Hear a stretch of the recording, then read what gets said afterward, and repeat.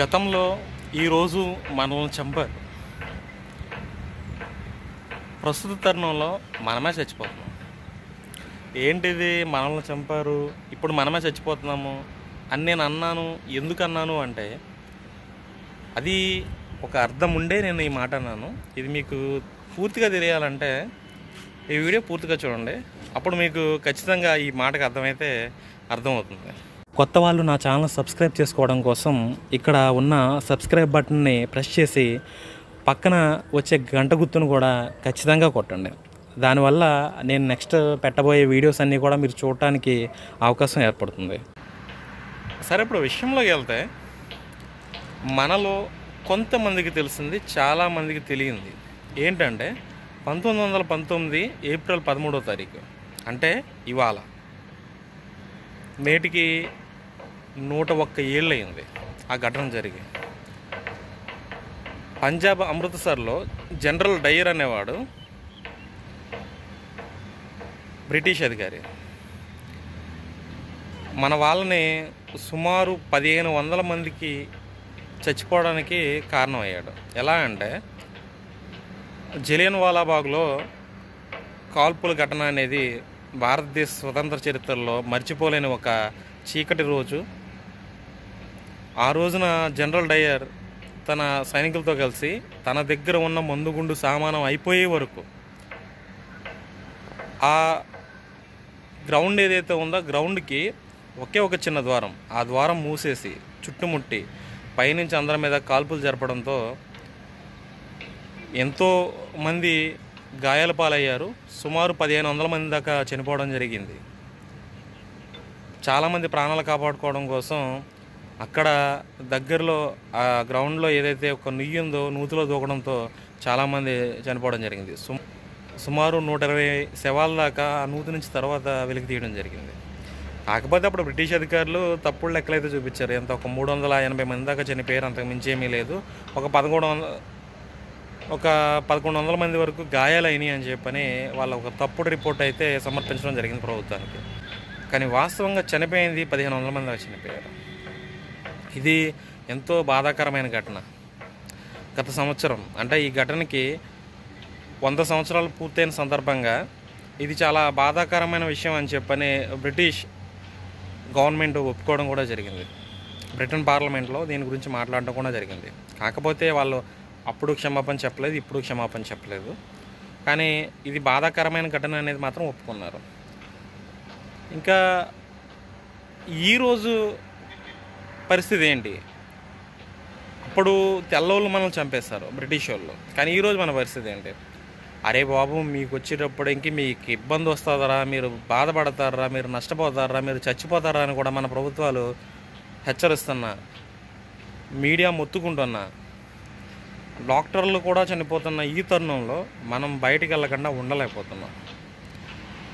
చూస్తున్నాం. కనీసమైన కనీసమైన జాగ్రత్తలు తీసుకోమంటే ఎంత దారుణంగా ఉన్నదంటే పరిస్థితి. టీవీలో చూస్తున్నాం కదా. మటన్ షాప్ దగ్గర చికెన్ షాప్ దగ్గర రైతు బజార్లో కిరాణా షాప్ దగ్గర.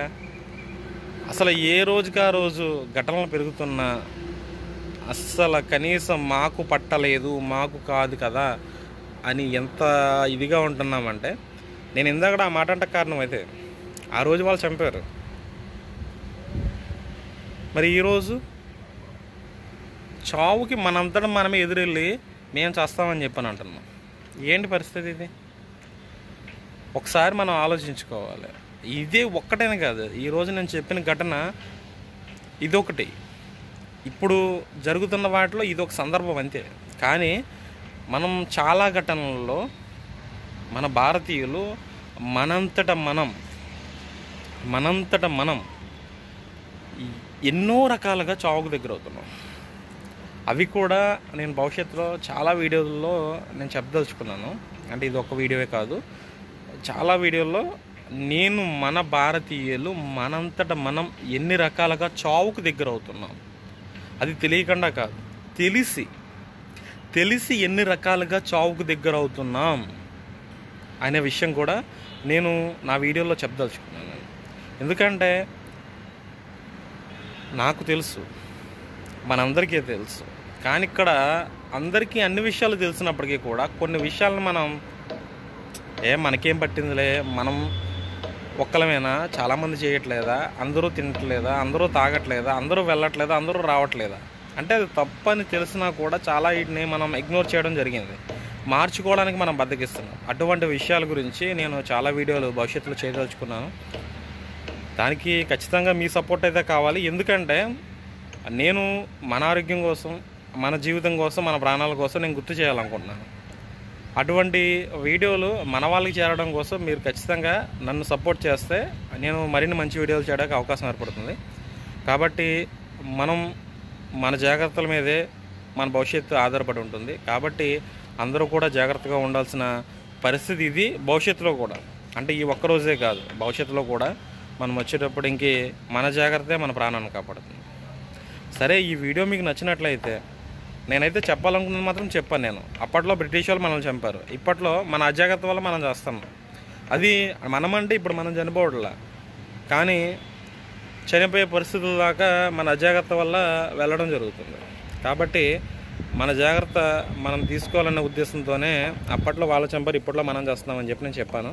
సరే మీకు ఈ వీడియో నచ్చిందనుకుంటే లైక్ చేయండి ఖచ్చితంగా. ఎందుకంటే మీరు లైక్ చేయడం వల్ల ఎక్కువ మంది ఈ వీడియో చూడటం వాళ్ళు కూడా కాస్త కోస్త ఆలోచించడం జరుగుతుంది.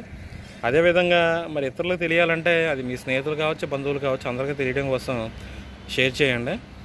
నా మరిన్ని వీడియోలు మీకు వచ్చి చేరడం కోసం కొత్త వాళ్ళు ఖచ్చితంగా నా ఛానల్ సబ్స్క్రైబ్ చేసుకుని బెల్ ఐకాన్ ప్రెస్ చేయాలని చెప్పి నేను కోరుకుంటున్నాను. ఎందుకంటే ఎక్కువ మంది సపోర్ట్ చేసినప్పుడు ఇంకా మంచి వీడియోలు మనకి ఉపయోగపడే వీడియోలు నేను చేయడానికి అవకాశం ఏర్పడుతుంది. ఖచ్చితంగా నేను మాత్రం ఒకటి చెప్పగలను. నేను ఏది చెప్పినా సరే ఏ వీడియో చేసినా సరే అందులో చిన్న పాయింట్ అయినా సరే ఒక్క పాయింట్ అయినా మనకి పనికొచ్చే ప్రశ్న కావచ్చు మనకి పనికొచ్చే సమాధానం కావచ్చు లేకుండా ఇటువంటి వీడియోలు చేయను నేను.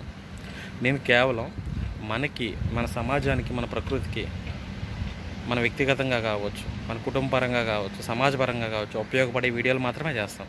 కాబట్టి నన్ను సపోర్ట్ చేయడం కోసం నా ఛానల్ సబ్స్క్రైబ్ చేసుకోమని చెప్పి నేను కోరుతున్నాను. ఈ వీడియో చివరి వరకు చూస్తున్నందుకు నాకు మీ సపోర్టు ఇవ్వాలని కోరుకుంటూ ధన్యవాదాలు.